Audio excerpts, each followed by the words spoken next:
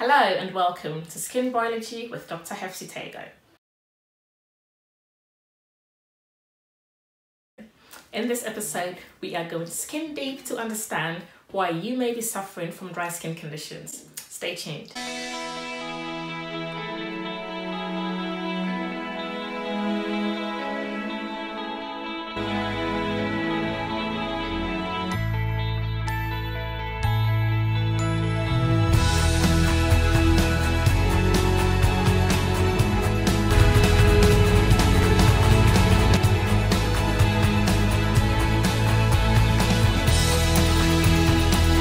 Why do I have dry skin? To understand why you may be getting dry skin, it's important to fundamentally understand the dry skin conditions itself is usually a secondary effect of a primary condition. It could be seasonal, it could be with your diet, it could be medical, it could be um, the environment, it could be certain triggers that's causing the secondary reaction you may be experiencing in the form of dry skin. Let's go skin deep and understand what's going on underneath those layers. Usually when we talk about skin, we are referring to the outer layer that we all see. The skin itself has three main layers. You have the outer layer that we see, which is your epidermis. Underneath that is the dermis, which contains your blood vessels, your sweat glands, your nerve cells, and some immune cells.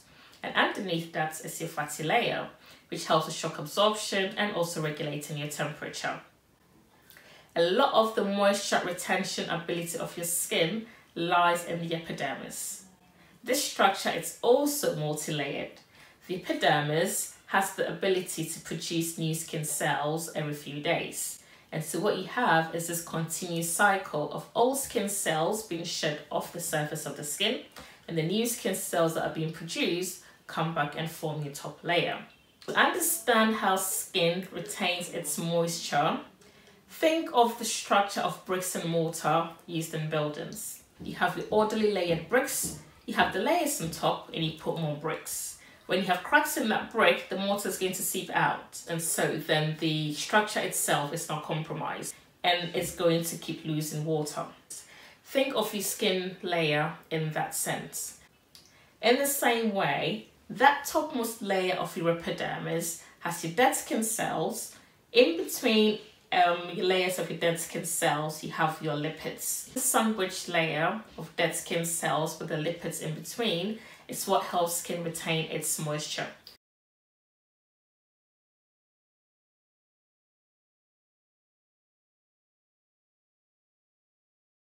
So usually when you're washing, when you're exfoliating, you're rinsing away some of these dead skin cells. What happens when these cells are being washed away is that not only are you getting rid of the dead skin cells, but you're also getting rid of the fats that is embedded within these skin cells. The ability to retain moisture in your skin varies between different individuals. In a moment, we're going to take a look at some simple remedies that you can apply to help alleviate your dry skin condition. Stay tuned.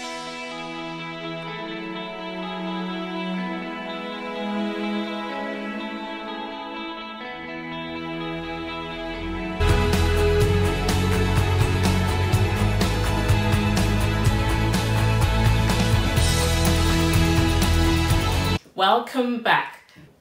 How can we retain the moisture in our skin? So, three simple things that you can do. One, a dry environment means more water being evaporated from the skin. So, you can use a humidifier to keep your air moist. Two, every time you're having a bath or a shower, you lose, you're washing away your dead skin cells. Every time you're losing dead skin cells, you're also losing the lipids and also losing some moisture. You must always, always, always rehydrate your skin by applying ointments or creams. Ointments and creams are better than lotions. And lastly, you must use mild cleansers. Skin is gentle, treat it with care.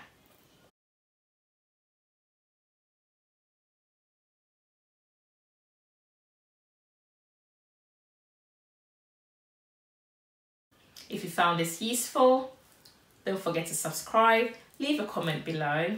If you have any questions you want to keep private, you can send me a direct message across any of my social media handles or directly on my website.